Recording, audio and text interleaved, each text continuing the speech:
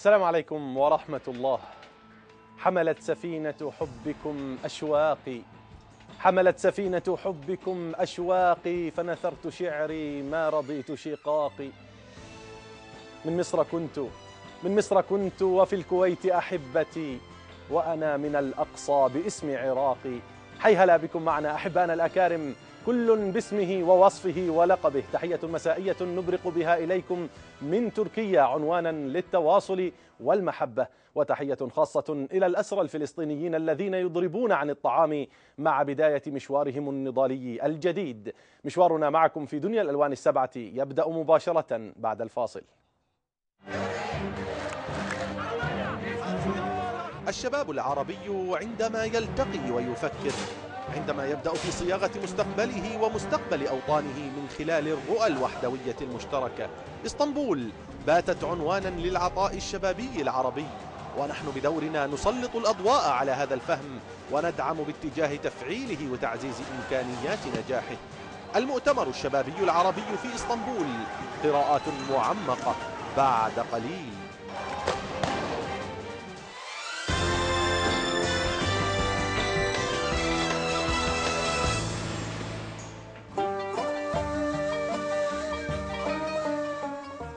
دولة قطر الشقيقة. أقيم معرض إبداعي يتناول فنون الحياة التقليدية ويركز على الثقافات المشتركة بين أقطار العالم العربي والإسلامي. المينياتور أو فن المنمنمات حاضر بقوة في عالم المعروضات الإبداعية والبصمة التركية فيه كانت واضحة. المعرض الفني في قطر والمشاركة التركية فيه بعد قليل في الألوان السبعة. حمل الربيع العربي فيما حمل من دلالات قراءات واسعة في دور الشباب وفهمهم للواقع وتجسيدهم للرؤى الشبابية المتنوعة في سياق معرفي تقدمي حدثي جديد. تحت هذا العنوان وتحت هذه المظلة الواسعة تنشط جهود شبابية متعددة في العالم العربي من أجل صياغة قراءات موحدة تجاه قضايا مفصلية كالسياسة والإعلام والعمل المؤسساتي ونحوها. ونحن بدورنا نعكس لحضراتكم جانبا من جوانب هذا الإبداع متمثلا بالإعداد الحقيقي والشمولي لمؤتمر شبابي يجمع شبابا من أكثر من 17 دولة عربية يخططون سويا للإعلام ويفهمون معطيات الإعلام المعاصر والحديثة. مفهوم التواصل الاجتماعي مفهوم التواصل الإعلامي مفهوم التواصل السياسي والتواصل المؤسساتي. بات عنوانا مطروحا بقوة ويسعدنا أن نتحدث مع في هذه الملفات مع ضيفنا العزيز الأستاذ أيمن حرارة المسؤول عن إعداد وتنسيق المؤتمر الشبابي الخاص الذي سيعقد في تركيا والذي سنعرفكم به وأيضا هو المسؤول عن إعداد المنتدى الشبابي التركي العربي. أهلا وسهلا بك معنا في برنامج الألوان السبعة. فيك الله يجزيك الخير. احبائنا الأكارم سنبدأ معكم جولتنا. بتقريرنا الافتتاحي الشباب والربيع العربي والتغيير ورسالة الإعلام والمؤتمر الشبابي.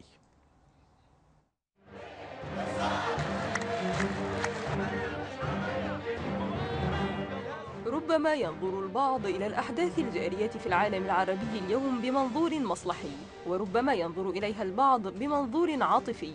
ولكن ما بين هذه النظرة وتلك تتألق همة الشباب وعزيمتهم في العالم العربي من أجل الحفاظ على الهوية الشبابية العربية المعاصرة التي صنعت بعد الثورة العربية في كل بلد عربي ثائر. من التاسع عشر وحتى الحادي والعشرين من شهر يونيو حزيران سيتم عقد سلسلة من اللقاءات التبادلية بين الشباب العربي والتركي في اسطنبول. ندوات ومؤتمرات ومحاضرات وفعاليات متنوعة تشمل شباب بلدان العالم العربي الثائرة وشبابا من دول لم تشهد الثورات بعد إضافة إلى الشباب الأتراك الذين أحبوا أن يكونوا على تواصل فاعل مع إخوانهم العرب في كل التفاصيل الجزئية.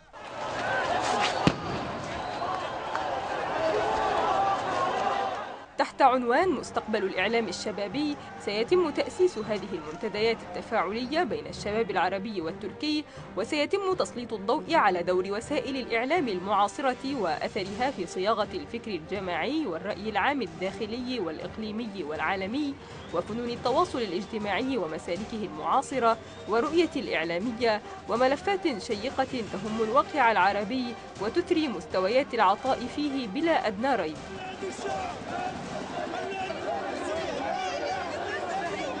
شباب من العالم العربي وتركيا لا تمنعهم اللغات واللهجات والعوائق من التواصل سويا. يتحدثون بهمة الشباب وصوت الشباب ويحملون آمال وتطلعات الشباب نحو شطآن العمل المنتج. قراءات جديدة بتنا نسمع عنها. إذا تتصل بالشباب والشباب منظموها وقادتها وصناع فلسفتها. نجدد الترحيب بالأستاذ أيمن حرارة الناشط الشبابي والمهتم بالقضايا الشبابية. أستاذنا الكريم كمنسق لسلسلة هذه المشروعات اسمح لنا أن نأخذ بداية رؤيتك للشباب ولدورهم في المجتمع. الشباب هم صناع المستقبل. لذا وجب علينا نحن أن نوعي أنفسنا. وأن نكون على قدر المسؤولية في المستقبل. فيجب علينا أن نكون أصحاب رسالة. لذلك يبرز دور الشباب الحقيقي خلال وجودهم الحاضر والمستقبلي. لذلك من وجهة نظري كشاب أتمنى على كل الشباب أن يكونوا قدوات وأن يكونوا مستعدين للحظتهم الحاسمة لأنهم هم من سيقودون المستقبل وسيكونون نهضة وسيكونون نهضة أمتهم في القريب العاجل هل هل ترى أستاذ أيمن أن الربيع العربي يعني هز وجدان الشباب؟ يعني قال لهم أنت شاب فتذكر أنك شاب بمعنى أوجد فيه من روح الشبابية الحقيقية التي هي قادرة على تحويل المستحيل إلى واقع. مما لا شك فيه لذلك اسمه ربيع. عندما جاء الربيع العربي كما تفضلت هز ضمير الشباب وقال لهم تحركوا. فالميدان ميدانكم. فالشباب العربي منذ لحظة انطلاق الشرارة الأولى من تونس وبدايته في ثم في تونس في مصر والدول العربية الأخرى بدأت عيون الشباب تتجه إلى دورهم الحقيقي والفاعل في المجتمع. لذلك بدأت الشباب ينهضون كمؤسسات شبابية طوعية فرق شبابية وغيرها من التجمعات الشبابية أيا كان مسماها. الفكرة كانت ضمن الشباب أن يرقوا بأنفسهم وبمجتمعهم من خلال الخدمات العامة والتواصل الإلكتروني. كل شيء يخطر بباب الشباب لنفع أمتهم قاموا به. جميل جدا. أستاذ أيمن يعني أنتم الآن تقومون بالتأسيس من خلال مركز صداقات ومن خلال سلسلة من الجهود التي تقومون بتنظيمها مع المجتمع التركي هنا المجتمع المدني والمجتمع الحاضن للشباب عمليا يعني من أجل تأسيس المنتدى التركي العربي المنتدى الشبابي التركي العربي وهذا المنتدى الإعلامي سيكون أو المؤتمر الإعلامي سيكون باكورة الإنجاز فيه. إن شاء الله. لنتحدث بداية عن المنتدى بعد ذلك نخصص الحديث عن الملتقى الإعلامي. المنتدى الشبابي التركي العربي ما هي رؤيتكم له وما هو الدور الذي تطمحون أن يلعبه؟ إيه، منتدى الشباب العربي التركي هو عبارة عن منتدى حاضن للمؤسسات الشبابية العربية والتركية. يقوم هذا المنتدى بمؤسسات شبابية فقط. نعم. لأن نحن الآن نؤمن أنه الأفراد لا يستطيعون التغيير بشكل كبير. توجد هناك شخصيات فذة تستطيع التحرك والتكلم والتغيير لكن يظل آه، تأثيرها محدود. لذلك الآن نسعى إلى المؤسسات الشبابية لأنها هي الحضن الحقيقي للشباب وهي التي تستطيع أن يعني تظهر الشباب بواقعهم الحقيقي. برؤيتهم وتفاصيل بالضبط. حياتهم التي يريدونها. والجميل في الموضوع أن من يدير هذه المؤسسات هم شباب. لذلك نحن عندما نتكلم مع هؤلاء الشباب نتكلم بالمستوى المعاصر لأنه أصبحت مؤسسة ضمن عمل شيق وقوالب مهنية احترافية. جميل. آه. فهذا المنتدى سيكون هو الحضن لهذه المؤسسات الشبابية. جميل جدا. وباكورة الإنتاج منتدى الإعلام الشبابي. الخاص بسلسلة التفاعلات الموجودة الإعلام الشبابي. أليس كذلك؟ نعم مستقبل الإعلام الشبابي. من التاسع عشر إلى الواحد والعشرين. نعم. سلسلة من اللقاءات الشبابية سيحضرها أيضا مجموعة من الشباب الأتراك. بمعنى هناك تفاعل من سيحضر؟ هنا تفاصيل مهمة جدا. نشكركم بداية على مثل هذا النوع من التفكير أستاذ أيمن ونحن جاهزون لتغطيته عمليا. ولكن فكرة هذا الموضوع إبداعية والتألق في استضافة شباب من 17 دولة عربية هي فكرة إبداعية أيضا. بالتالي ضعنا في صورة هذا المنتدى أستاذنا الكريم. بداية الفكرة جاءت من آه، صعود الإعلام الحديث في العالم العربي. آه، ولا نبالغ إن قلنا أن الإعلام الحديث في العالم العربي قد قد تقدم كثيرا عن نظرائه في العوالم الأخرى من الغرب. لماذا؟ لأن العالم العالم الافتراضي والمقصود به العالم الجديد آه، أوجد بيئة مناسبة للشباب للتعبير عن رغباتهم للتحدث عن طموحاتهم لإيجاد فرص عمل حقيقية لتطوير الساحة العربية الشبابية. لذلك نحن من خلال الثورات العربية وحتى الحملات الوعي الذي يقوم بها الشباب من خلال الإنترنت آه، ظهرت هناك نماذج رائعة وقادرة على التغيير في المجتمع الشبابي. آه، كانت الفكرة أن نوحد هذه الجهود أن نحدد ماذا ماذا نريد. وأيضا أن نعرف لماذا نحن موجودون هنا في هذا العالم الافتراضي. انبثقت عن هذا التساؤلات مؤتمر أو مستقبل الإعلام الشبابي. نتحدث عن مستقبل بمعنى قراءة تفصيلية بعيدا عن الإعلام أستاذ أيمن يعني رسالة ومرسل ومتلقي هذا النمط الإعلام تجاوزنا. النمطي تجاوزنا نعم. جميل. إيه عندما نتحدث عن قراءة الواقع نحن الآن عندما نقول مرسل ومستقبل نأخذ الخبر من المواطن أو من الشاب. الكل مرسل الكل أصبح. مرسل. جميل. وأيضا الإرسال والمستقبل كل الشباب وحتى من يستطيع الجلوس على الإنترنت أيا كان عمره أو جنسه. جميل. آه. لذلك آه التعاون مع هذه الفئة جدا مهم وجدا مؤثر. لذلك عندما آه بدأنا بالتفكير لتجميع هذه الجهود آه وجدنا أن التخطيط والتنسيق بين هذه الجهود هو أمر بالغ الأهمية. وضعنا بعض الخطوط والبنود العريضة للتناقش فيها والتباحث فيها.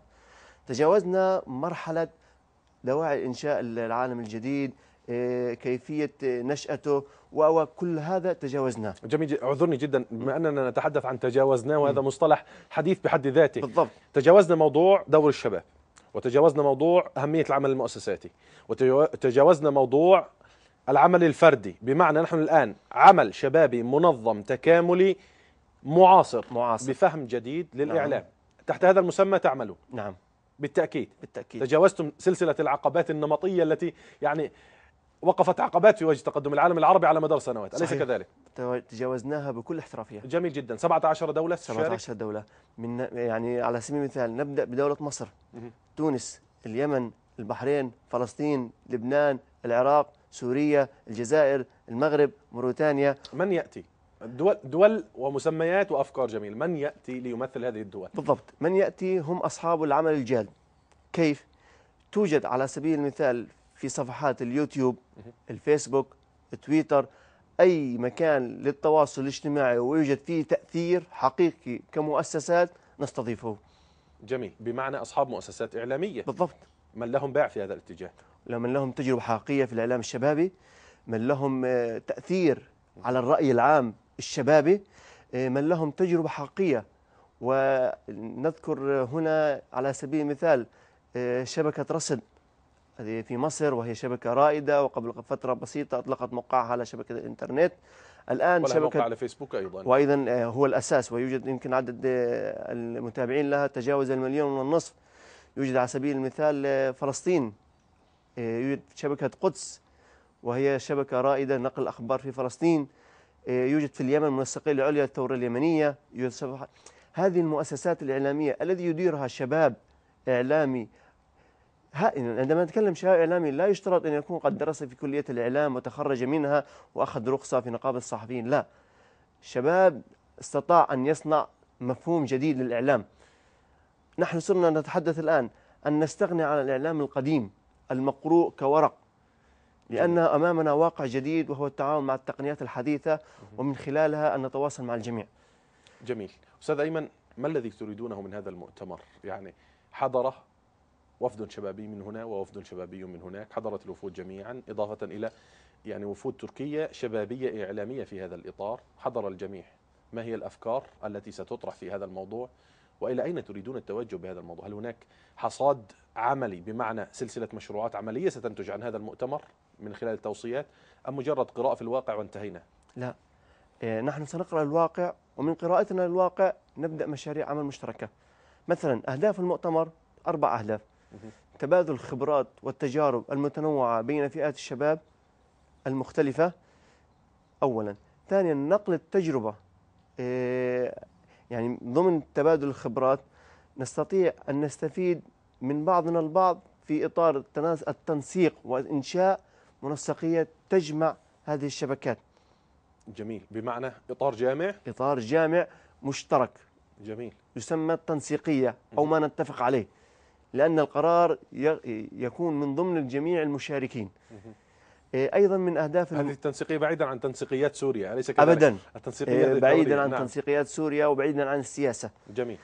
نحن هذه التنسيقية ستكون تنسيقية للعمل الشبابي في مجال الإعلام. جميل. نعم. إيه الهدف الثالث أيضا وهو الاستفادة وتطوير من المعطيات الموجودة لدينا حاليا في العالم الحديث وتطويرها للمستقبل. يعني الآن يوجد أيضا قراءات جديدة في العالم الإلكتروني إيه، نود أن نستفيد منها. إيه، أيضا النقل أو إنشاء برامج مشتركة أها لتعميمها في العالم العربي لإدارة حملات مشتركة وعي مشترك. هذه أبرز المحددات وأهداف المؤتمر. جميل جدا. هل تتوقعون تفاعلا شبابيا أستاذ إلى الآن المشروع؟ إلى الآن أبرز الشباب المشاركين معنا أرسلوا استعدادهم للحضور والمشاركة بورقات عمل جميل إذا هناك دافعية لدى الشباب للمشاركة نعم على هامش يعني الأجواء غير المتفائلة بعد الربيع العربي والتدخلات الغربية وأيضا الصراعات الداخلية، نحن نسمع أن هناك همة شبابية لصياغة مستقبل، هل هذا توصيف دقيق؟ إيه، وممكن أن نقول أكثر من ذلك. جميل. إيه، الذي نستطيع أن نقوله الآن توجد هناك بوادر حقيقية لبداية إيه، ربيع شبابي. في تغيير النمط الاعتيادي للتعاون مع مع الواقع. جميل. لدينا طموح عالي. من خلال آه، قراءتنا للواقع وطموحنا نستطيع أن نصنع مرحلة متوسطة للوصول لطموحنا جميل جدا. آه، المؤسسات التي ستشارك عندها القابلية للانضواء تحت لواء واحد بمعنى أن نعمل بأفق مشترك بقواسم مشتركة موحدة حتى يعني لا نعكس صورة اليمن أو صورة فلسطين أو صورة يعني آه، الجزائر أو صورة المغرب نعكس صورة جماعية إعلام ناضج نبني إعلاما معاصرا ناضجا هل لديهم مثل هذا الاستعداد؟ الواقع أن يكون لديهم ذلك بحكم آه، تعاملنا في الفترة الأخيرة كشباب إعلامي تحاولنا أن نتجاوز المناطقية جميل. الدولية يعني أنا من مصر أو من سوريا أو أو أو لماذا؟ لأن مشروعنا مشترك. آه، نحاول من خلال التنسيقية أن نوجد أهداف مشتركة لنا أجمعين وأن نوصل رسالتنا للجميع. وهذا لا يعني ولا ينفي أن ننسى آلام الآخرين. جميل جدا. يعني نشكركم حقيقة على هذه الهمة أستاذ أيمن حرارة المسؤول والمنسق الخاص لهذا الملتقى والمنتدى.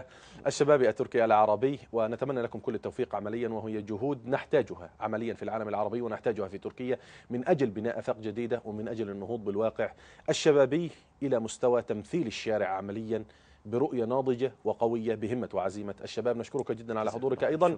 وأحبائنا الأكارم اسمحوا لنا أن نسافر وإياكم إلى الكاريكاتور ولوحة نترككم معها بلا تعليق.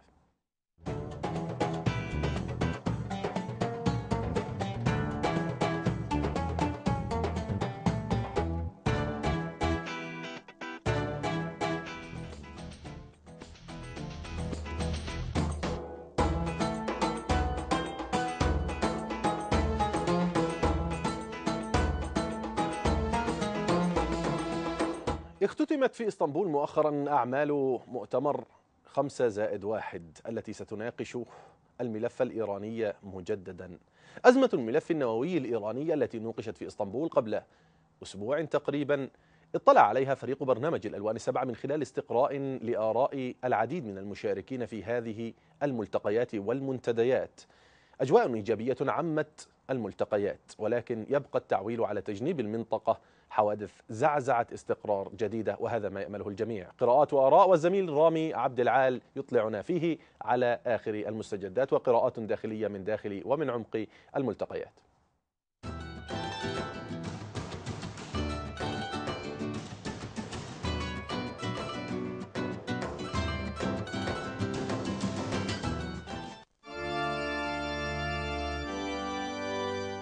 اختتمت في مدينة إسطنبول التركية المحادثات بين إيران والقوى الكبرى خمس زائد واحد بشأن الملف النووي الإيراني المثير للجدل بعد توقف دام لأكثر من عام. الأجواء العامة التي تخيم على هذه المحادثات هي إيجابية لكنها هشة. آه، وهذا طبيعي طبعا نظرا للعلاقات آه، التي اتسمت بالتوتر دائما بين إيران ومجموعة خمسة زائد واحد. آه، وانعدام الثقة بين الجانبين لكن هذه الجولة بالذات ونظرا لحساسية الموضوع أولا وثانيا آه، نظرا ل آه، العقوبات التي فرضتها مجموعة خمسة زائد واحد ضد إيران. كل هذا يخيم على أجواء المحادثات. إذا الأجواء هي إيجابية لكنها هشة. مسؤولة السياسة الخارجية بالاتحاد الأوروبي كاثرين أشتون أكدت أن المفاوضات بين اللجنة السداسية وإيران أجريت وسط أجواء إيجابية من الطرفين مضيفة أن الأطراف المشاركة في المفاوضات توصلت إلى إجماع على ضرورة إجراء جولة جديدة من المفاوضات في العاصمة العراقية بغداد ستجرى يوم الثالث والعشرين من مايو آيار القادم. وأعربت أشتون عن أملها بأن تتبع المفاوضات المقبلة القيام بخطوات نحو حل عام يؤكد الطابع السلمي للبرنامج النووي الإيراني. بدوره أكد كبير المفاوضين النوويين الإيرانيين سعيد جليلي على حق بلاده في مواصلة برنامجها النووي السلمي مشيرا إلى أن بلاده على استعداد للتعاون مع المجتمع الدولي لإزالة أي قلق في هذا الخصوص. فأظن هذه الخطوة آه، مهمة جدا نحو آه، حل سلمي آه، للملف وهذا طبعا بالتالي سيؤثر على حل المشكلة السورية لماذا؟ لأن الإيران كما يعرف الجميع له ثقل سياسي كبير وضغوط سياسية كبيرة على النظام السوري بأنها تصر وتلح على موقفه المتجمد. أجواء إيجابية خيمت على المحادثات في تركيا البلد المضيف التي صرح المتحدث الرسمي لخارجيتها سلشوك أونال أن بلاده لا تؤيد العقوبات الأحادية ضد إيران بوقف استيراد النفط الإيراني ابتداء من الأول من يوليو تاموز القادم ومشيرا إلى أن جلوس إيران والقوى الكبرى خمس زائد واحد خلف طاولة المحادثات يعتبر نتيجة كبيرة من أجل التوصل إلى حل سلمي لهذه المسألة. وإلى إحدى المشاركات الخارجية في ميدان قراءاتنا في الواقع نعكسها من خلال تقرير زميلتنا خديجة الزغيمي ولكن قبل ذلك نعتذر لحضرة البروفيسور دكتور عبد الفتاح العويسي عن التأخر حقيقة في إدراجها لتزاحم المشاركات الخارجية مشكورة التي وفدت إلينا من خلال جهودكم في سائر أصقاع عالمنا العربي. اليوم نعرض لكم من خلال هذه المشاركة الحوض الأكاديمي المعرفية لبيت المقدس. نطلعكم عليه من خلال مشاركة نتمنى أن تلقى أصداء حقيقية وتفاعلا كبيرا في أوساط العالم العربي والإسلامي بعد أن نجحت في العالم الغربي. إلى قراءاتنا في الواقع.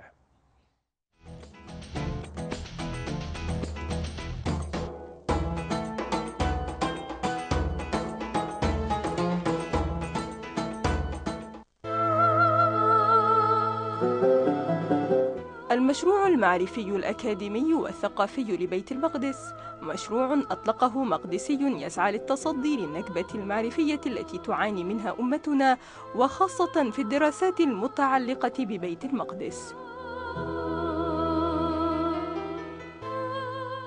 أطلق هذا المشروع منذ ما يقرب من عقدين البروفيسور عبد الفتاح العويسي ودفعه إلى ذلك ما لمسه من إغفال للبعد المعرفي للنكبة وما نجم عنه من فقر أكاديمي فيما يتعلق بدراسات بيت المقدس ما أدى لسيطرة الصهاينة والمستشرقين على هذا المجال البحثي حتى باتت دراساتهم تمثل مرجعا حتى للباحثين الملتزمين بالقضية.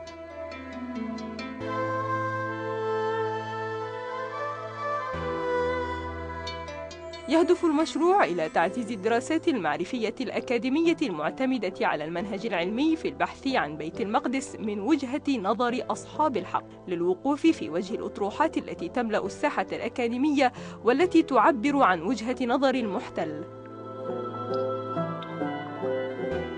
حقق هذا المشروع عدة إنجازات. تمثل أولها في تأسيس حقل معرفي جديد لدراسات بيت المقدس في المملكة المتحدة التي لعبت دورا مركزيا في تأسيس دولة إسرائيل.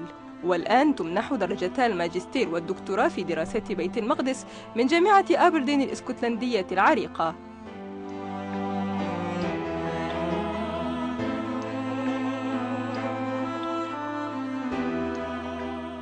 الهدف الحالي لهذا المشروع المعرفي هو نقل هذا الحقل المعرفي لدراسات بيت المقدس إلى العالمين العربي والإسلامي. إذ حتى الآن لا توجد جامعة عربية أو مسلمة تدرس هذا الحقل المعرفي ويهدف كذلك إلى تأسيس معاهد لدراسات بيت المقدس في العالم الإسلامي.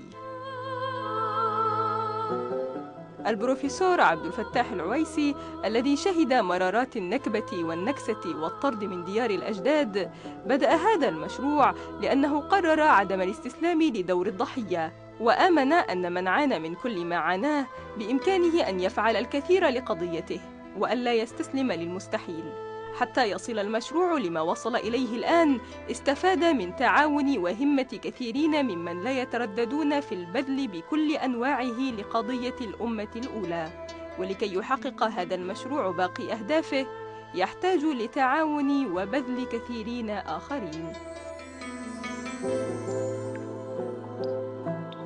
بالسياسة الآن من خلال لقاء حصري مع الدكتور أحمد حقي. تحاور معه مندوب البرنامج الأستاذ رامي عبد العال حول قضايا كثيرة جدا تتصل بالشأن العراقي وأيضا تتصل بفلسفة العمل في العراق في ظل التدخلات القائمة. ضيفنا العزيز وجه النظر إلى ضرورة قراءة واقع ما يجري في العراق بصورة نمطية نموذجية من سائر أرجاء العالم العربي لأن ما يجري في العراق يمكن أن تقتبس منه الدروس بكثرة لوفرة ما يحدث فيه من من نماذج ووسائل في السياسة وفي علوم الاجتماع والاقتصاد المتداخل مع بعضه البعض. إلى دنيا السياسة.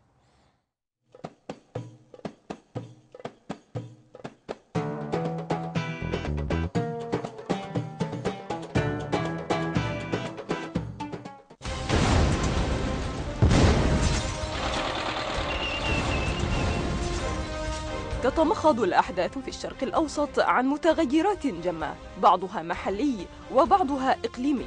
التدخل الإيراني في الشأن العراقي وطبيعته وأشكاله وفلسفة العراق المعاصر في ظل التحديات كانت محاور تم نقاشها مع الدكتور أحمد حقي رئيس مركز الرافدين للدراسات الاستراتيجية الذي حدثنا عن العلاقات العراقية الإيرانية قائلا. يمكن وصفه بين الشأن في الشأن العراقي هو التدخل الإيراني. يعني الآن الإيرانيون ليسوا فقط موجود موجودون على طريقة الأمن والاستخبارات والمؤسسات الرسمية. الآن الاقتصاد المواطن العراقي يعاني من البضاعة الإيرانية. البضاعة الإيرانية رديئة ف وتباع بأبخس الأثمان بدعم حكومي من العراق. فالمنتج العراقي مثلا على صعيد الزراعة لا يستطيع أن ينافس البضاعة الإيرانية الفاسدة. المصانع الإيرانية تبث ترمي بكل نفاياتها وبضاعتها الرديئة إلى داخل السوق العراقي المضطر. وسألنا الدكتور حقي عن رؤيته للثورات العربية وانعكاسها على المواطن العراقي فأفادنا الثورات العربية إذا ما حققت واستكملت أهدافها بعيدا عن التدخل الأمريكي. نحن الآن نرى تدخل الأمريكيين في مصر ونرى تدخل الأمريكيين في اليمن. فما ما ما يهمنا أن ينجز مشروع الثورة العربية في كل بلد خطوات فاعلة لترسيخ آه، حكم الشعب. لأن نحن نعتقد أن الشعب العربي يعني نعرف أن الشعب المصري هو ضد الاحتلال الأمريكي وضد الاحتلال الايراني، لكن أن تأتي حكومة تمثل هذا الاتجاه هي المشكلة. أن تأتي حكومة منتخبة حقيقية تمثل هذا الفهم وتعبر عن هذا الفهم للشعب المصري. هي المشكلة بسبب التدخل الأمريكي وهذا يحدث في اليمن ويحدث في ليبيا لأننا الآن نرى ونقرأ ونسمع لم تتم عملية استكمال الثورات وهنالك كلام كثير في المشروع القادم بعد آه، إنجاز الثورة. ودائما يعني آه، الشعوب عندما تنجز ثورات تحتاج إلى فترة من الوقت لكي تبني مؤسسات دولة. والآن منشغلون يعني ليبيا منشغلة ومصر منشغلة حتى وحتى اليمن. أما سوريا فما زالت يعني ما زال في في مخاض الثورة وفي مخاض إنجاز مشروع تحرير آه، سوريا من من الاستبداد.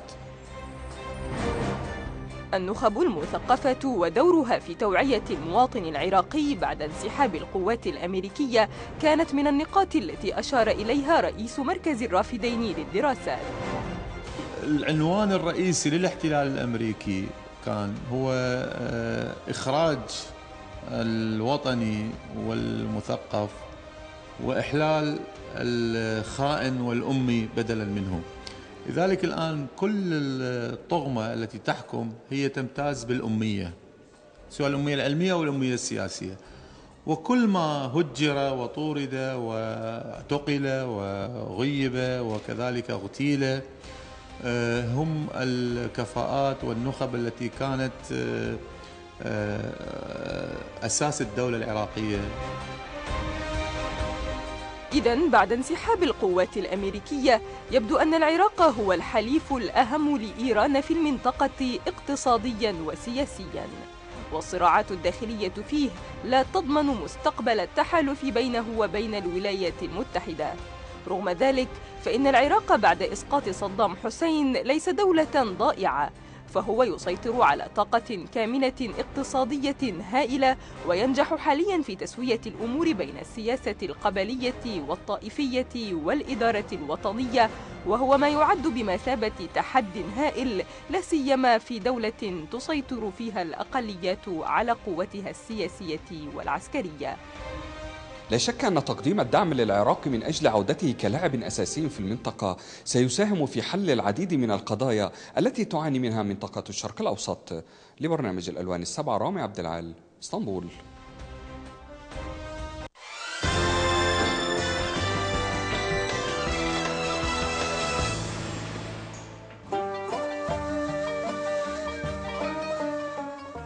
دولة قطر الشقيقة. أقيم معرض إبداعي يتناول فنون الحياة التقليدية ويركز على الثقافات المشتركة بين أقطار العالم العربي والإسلامي.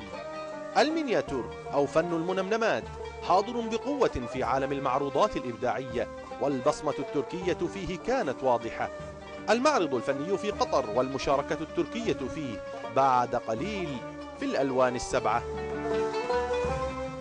وإلى محطة جديدة من محطات الأمل. على الحدود ما بين كينيا والصومال تنشط العديد من الجهات الإغاثية المؤسساتية التركية في تقديم يد العون والمساعدة إلى الجهات المحتاجة هناك. في مخيم داداب مثلا سلسلة من الجهود الطوعية والإغاثية تم إدراجها في سياق عمل منظمة هل من مغيث. ولكن نعرض لكم الآن افتتاح مستوصف خيري بشكل موسع. أكثر من مئة ألف إنسان تراجعوا بهذا المستوصف وكانت لهم مراجعات واضحة انعكست على صحتهم إيجابا. كل الشكر إلى جمعية هل من مغيث وكل الجهد الشكر حقيقة إلى من يبذل جهدا حقيقيا في إسعاف هؤلاء المحتاجين إلى الاحتياج. محطات أمل وقراءة جديدة في الأيادي البيضاء.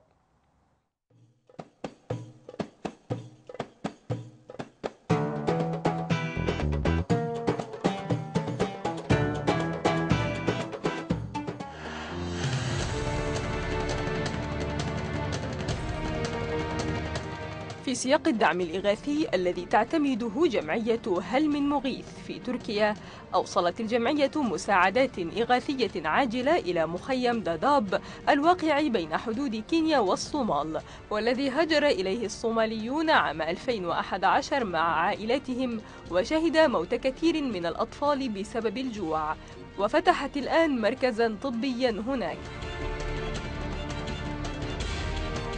رئيس الجمعية أونال أوستورك في كلمته التي ألقاها في الافتتاح أفاد بأنهم يستمرون في فعالياتهم بالصومال منذ اليوم الأول للجوع والجفاف اللذين بدأ فيها والآن يعيشون فرحة افتتاح مركز الصحة في مخيم داداب عالجت الجمعية منذ بداية العام 2011 أكثر من 100 ألف مريض في المنطقة وساعدت الجمعية منطقة المخيم ب 300 طبيب سفير للصحة وتنفذ مشروعها للمركز الصحي في مساحة تبلغ 280 مترا مربعا. مركز داداب للطب بدأ يشتغل في اليوم الذي افتتح فيه مباشرة لخدمة الجمهور من أهل المنطقة. في المركز الطبي الجديد الذي تم تأسيسه لتقليل الوفيات المتزايدة بسبب سوء التغذية ونقص الدواء توجد غرفة للفحص وغرفة للصيدلة وثلاث غرف للأطباء وغرفة للعمليات الجراحية. يشتغل في المركز بشكل نظامي ثلاثة أطباء وموظفان للصحة. لمركز الطب أهمية كبيرة بالنسبة لسكان المخيم الذين حصلوا على الخدمة الصحية التي وصلت إليهم مباشرة بسبب قرب المركز من المخيم وجودة الخدمة وشموليتها لكل جوانب الحياة المطلوبة. احتفاء منا بالفنون التقليدية التراثية ونصرة منا للكثير منها الذي اندثر عن ساحة العطاء الفني الإبداعي. أحببنا أن نسلط الضوء على نمط جديد من الفهم لفن إبداعي تاريخي معاصر يحمل الدلالات تتصل بالحضارة والفهم والدين والسياسة وطبائع المجتمع. حياة حقيقية متكاملة ربما تعكسها لوحة. هذا الفن الجديد الذي يعرف باسم المينياتور. له جذوره الضاربة في أعماق التاريخ. له رسالته أسسه وقواعده وهو فن متكامل إجمالي. يسعدنا أن نطرحه عليكم من خلال ضيفة كريمة محترفة في مجال صناعة المينياتور بفنياتها ورمزياتها ومؤلفة موسوعة حقيقية سنعرضها على حضراتكم بعد قليل في هذا المجال. نجدد ترحيبنا برئيسة جمعية متحف توبكابي وأيضا فنانة الاحترافية في مجال المينياتور جونسلي كاتو. أهلا وسهلا بك معنا في برنامج الألوان السبعة. أهلا وسهلا بكم. أشكركم جدا. أهلا بكم.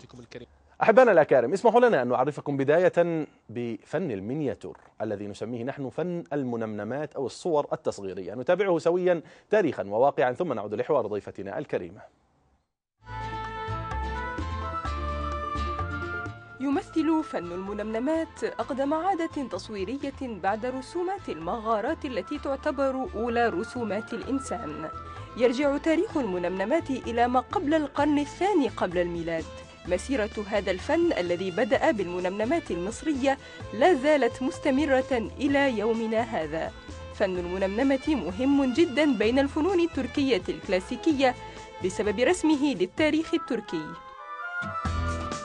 المنمنمة وصلت إلى عهدها الذهبي في فترات العهد الصفوي والسلجوقي وصولا الدولة العثمانية وكانت تمارس كرسومات للكتب. كان يطلق على صورة ذات بعدين اسم نقش. وعلى الفنانين الذين يمارسونها اسم النقاش أو المصور. أوسع إرشيف لفن المنمنمة موجود في متحف قصر طوبقب حيث فيه أكثر من 13500 منمنمة من القرون ما بين الثاني عشر والثامن عشر وتم جمعها في 451 مجلدا وألبوما. هذا الفن المؤثر والقوي بهذه الدرجة فقد قوته القديمة بعد عهد الخزامة. وفي القرن التاسع عشر ترك مكانه لفن الرسم الزيتي على اللوحة القماشية بالطراز الغربي. يستمر وجود فن المنمنمة في القرن العشرين بهمة عدد من الأشخاص.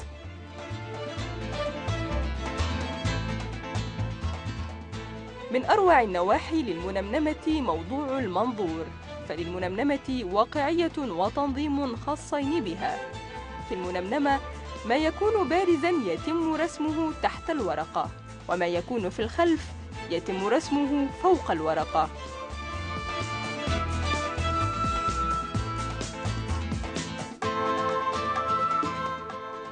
تطور مفرح عن المنمنمة وهو زيادة الالتفات لهذا الفن في تركيا.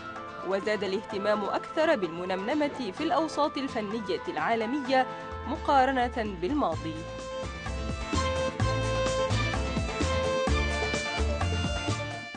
رسائل كثيرة ربما تحملها لوحة فنية واحدة من لوحات المينياتور. ونجدد هنا ترحيبنا بضيفتنا الكريمة التي وفدت علينا وهي رئيسة جمعية متحف توبكابي وفنانة احترافية الأستاذة جونسلي كاتو أهلا وسهلا بك معنا.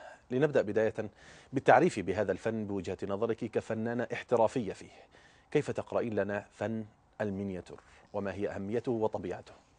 Efendim açıklamada çok güzel نعم bir sunum أولا أشكركم على هذا التقرير الرائع لأنه لم يبق لي كلام أشرح به إنه تقرير رائع والمشاهدون قد فهموه أعتقد ولكن أنا ك...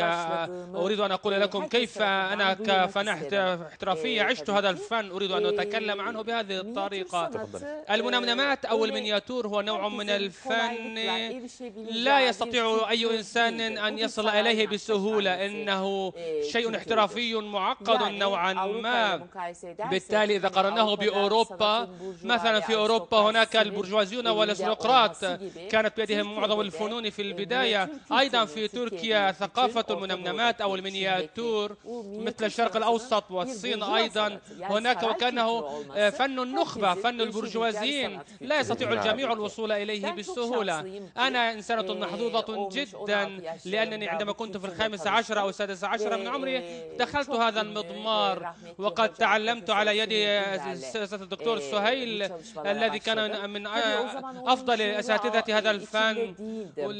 لم أكن قد وعيت للمعنى العميق لهذا الفن ولكن مع تطور السنوات فهمت المعنى العميق لهذا الفن وما يتضمنه من معاني رائعة وعميقة.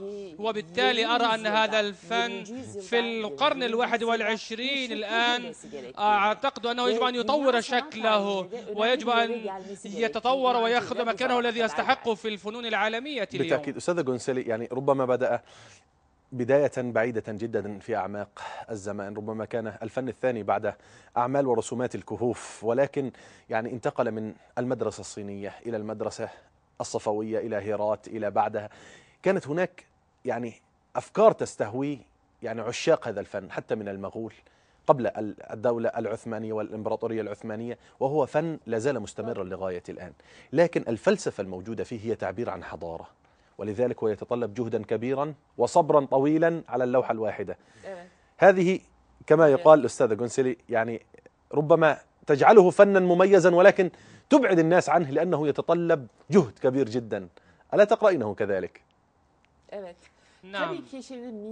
بالتأكيد أن فن المنمنمات أو المينياتور دخل التاريخ قبل عدة قرون عندما لم يكن هناك حتى تصوير فوتوغرافي كان الناس يتخيلون بعض الأمور ويحتاج إنسان ذو خيال واسع يرسم هذا الأمر. إذا إذا قارنا المينياتور أو المنمنمات بالفنون العالمية اليوم فهو متطور ومتقدم على الجميع. اليوم كل شيء رقمي والصور تصورونها وكل شيء أمام عيونكم ولا تحتاجون حتى قوة الخيال ولكن في تلك العصور السحيقة لم يكن هناك مكان لم يكن هناك خيال.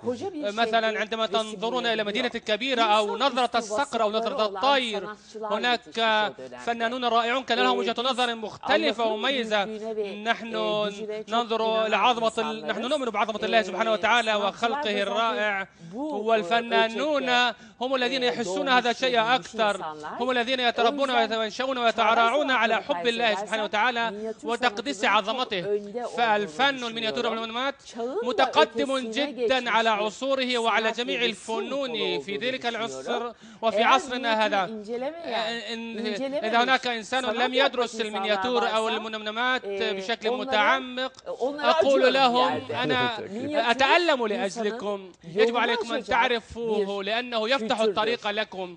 ويفتح طريقا ثقافيا عبر العصور ويعطي الفنان رؤية. هو رسم وفن بعيد عن التقليدية. إذا لم تعرفوا الأمور التقليدية لن تعرفوا العصر.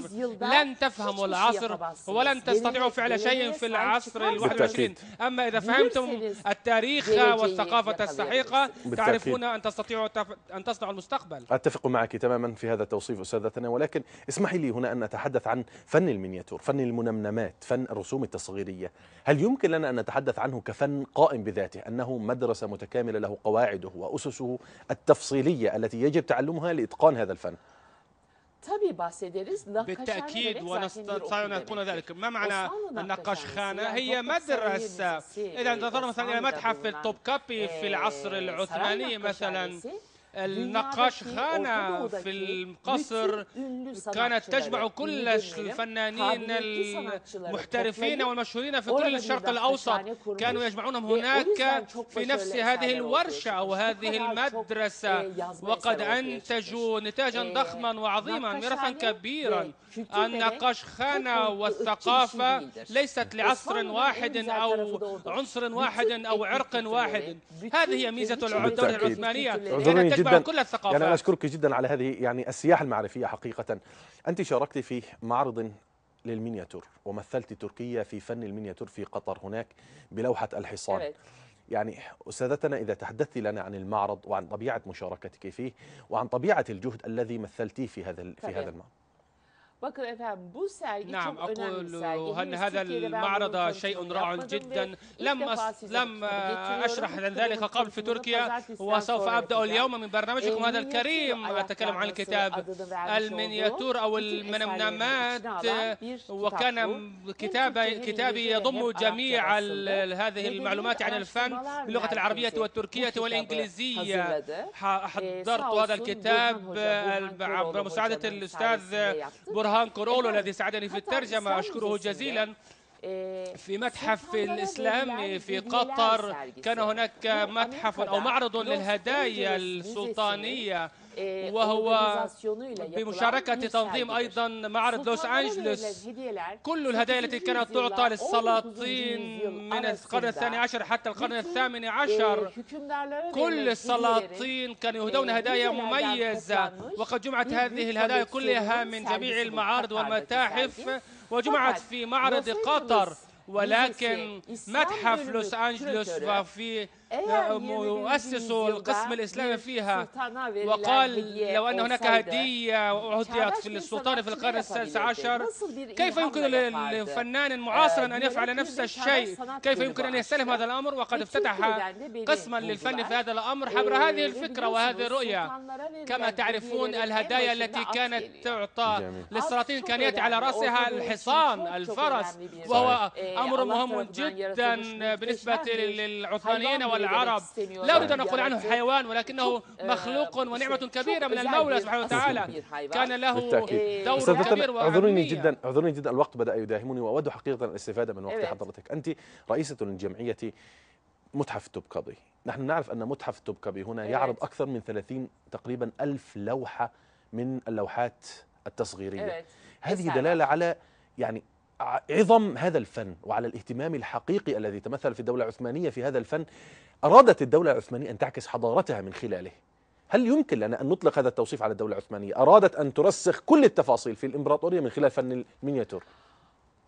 Osmanlı neler yapmak نعم. istemiş ve hepsini de العثمانيون أرادوا أن يفعلوا أشياء كثيرة وقد فعلوها جميعا العثمانيون رسموا كل دقيقة وقد وثقوا كل دقيقة من حياتهم حتى لو اختصرنا الأمر على النقوش والخطابات والكتابة ربما لم نكن سنحقق أي حلم أو نعرف أي خيال ولكن لأنه حولها إلى رسومات فهو عظيم فالعثمانيون استطاعوا أن يوثقوا كل شيء أنا أنا لا أقول أن الفن مقتصر على هذا الأمر. العثمانيون أيضا قبلوا الرسومات وقبلوا النقوشات وقد استطاعوا تعظيم دور العقل والخيال وبالتالي أنا أشكر العثمانية جدا وأشكر أيضا الجمهورية التركية التي هي ورثة العثمانيين أيضا في زماننا. ونحن نشكرك أيضا على حضورك معنا وعلى هذا المؤلف الذي نود أن نعكسه للمشاهدين الأكارم.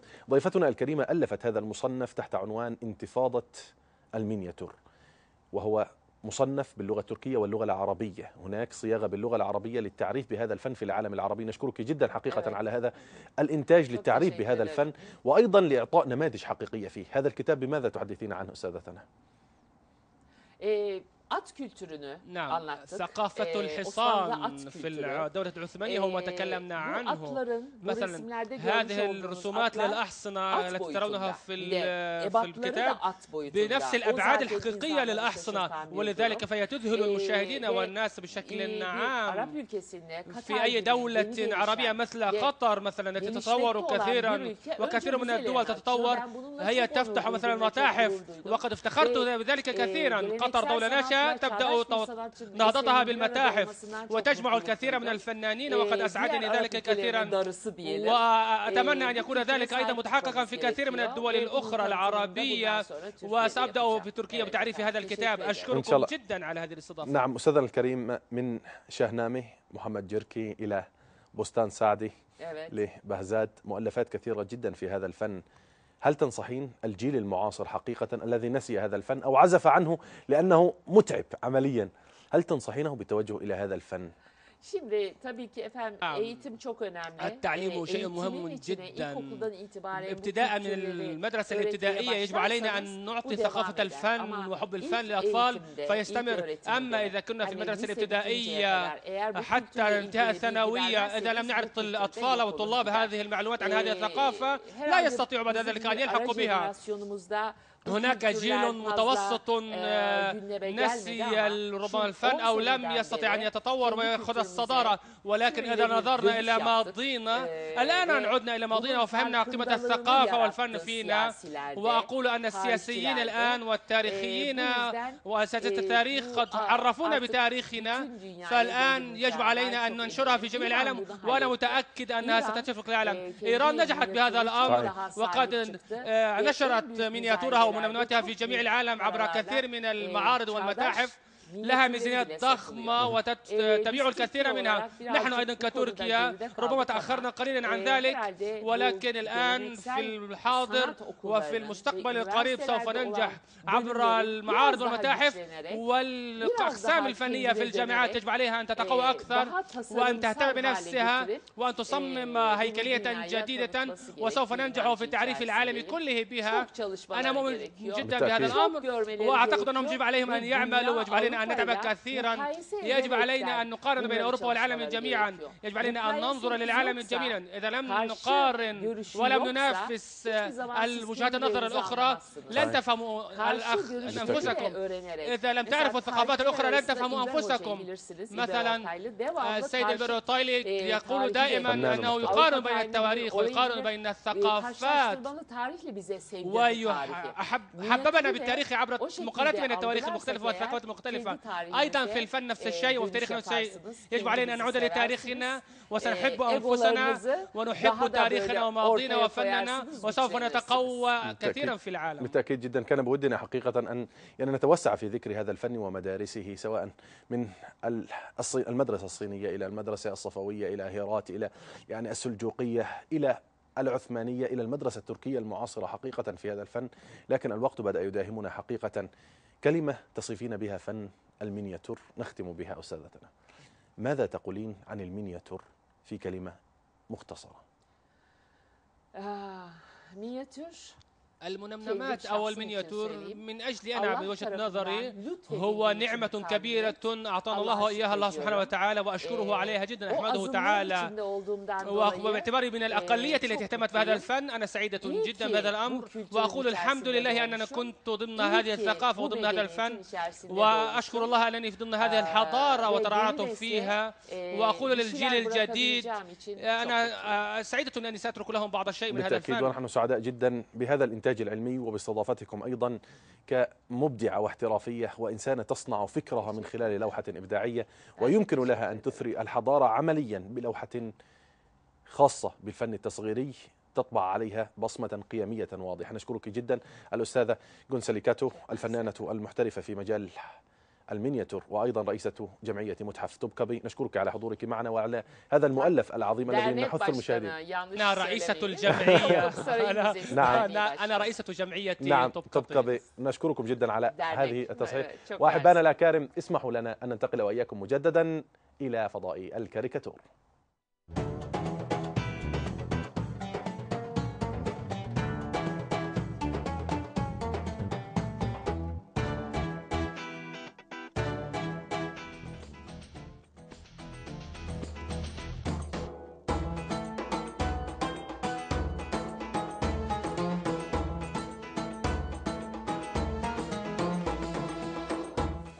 إذا ما قيل ودع إذا ما قيل ودع قلت حبا لنا في قابل الأيام قرب. وصلنا إلى نهاية جولتنا مع حضراتكم أحبائنا الأكارم. بكل المحبة نودعكم على أمل اللقيا بكم مجددا في أسبوعنا القادم من خلال برنامجكم الألوان السبعة. ننتظر مشاركاتكم وتفاعلكم ولكم من فريق البرنامج في أنقرة وفي إسطنبول. كل التحية ولكم مني نزار الحرباوي كل المنى والسلام عليكم ورحمة الله.